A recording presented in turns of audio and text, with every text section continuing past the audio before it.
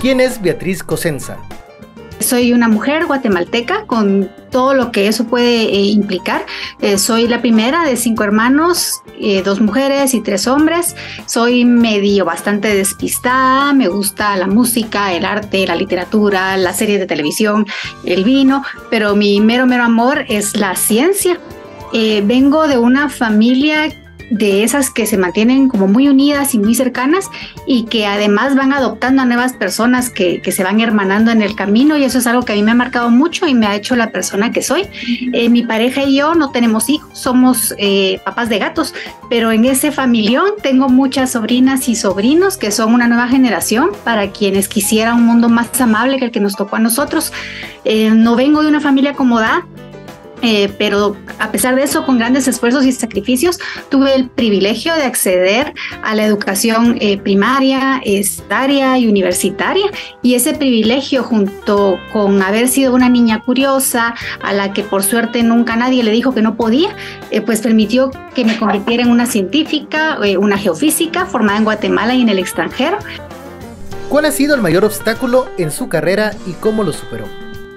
Eh, la primera, que no es un obstáculo para mí, sino que es un obstáculo bien real para todas las mujeres, está relacionada con las manifestaciones eh, sutiles, pequeñas, pero extremadamente perniciosas del machismo y la misoginia que atraviesan cualquier privilegio que una pueda tener. Y a mí personalmente lo que más me ha costado es aprender a identificar esas manifestaciones porque apenas se notan y si uno no se da cuenta no las puede contrarrestar. Eh, la segunda cosa que quería mencionar está relacionada con lo que implica hacer ciencia en Guatemala.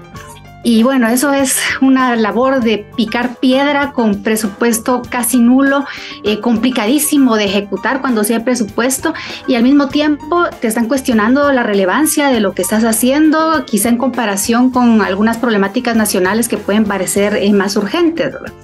Y luego tienes que estos dos obstáculos eh, además se combinan y se superponen y entonces te toca invertir tiempo y energía en entender por qué te cuestionan que obtuviste un puesto en tu universidad o que luego de haber sido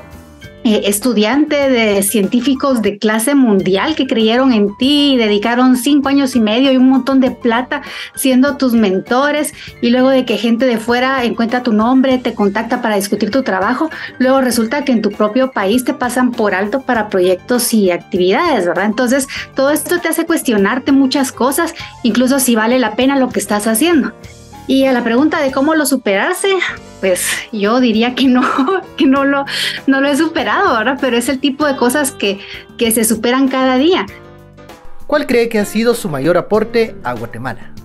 Cuando yo me acuerdo cómo eran las cosas cuando yo decidí estudiar física, eh, que éramos tan pocas, eh, tan aisladas y con casi cero modelos eh, visibles de lo que podíamos llegar a ser, pues entonces me alegra haber perseverado y ser parte ahora de un grupo más grande y más visible de mujeres científicas que puede mostrarle a, a, quienes vienen detrás que sí se puede y que ellas ahora puedan tenernos a nosotras como mentoras, como compañeras de viaje para ir avanzando y aprendiendo juntas, que es algo que, que yo no tuve en, su momento. Eh, y entonces me alegra eh, ser parte de este grupo eh, de científicas visibles que además desde sus trincheras luchan por la equidad de género, por el respeto a los derechos de las mujeres, luchan contra todas las formas de, de acoso y que además se involucran en causas sociales. Y pues precisamente hoy no puedo dejar de mencionar que me siento muy orgullosa eh, de luchar codo a codo con colegas, con estudiantes, por defender a la universidad pública, la Universidad de San Carlos de Guatemala, de esa gran máquina de corrupción nacional que la tiene y que un día como hoy, hace un año, colocó a un fantoche corrupto en el puesto de rector.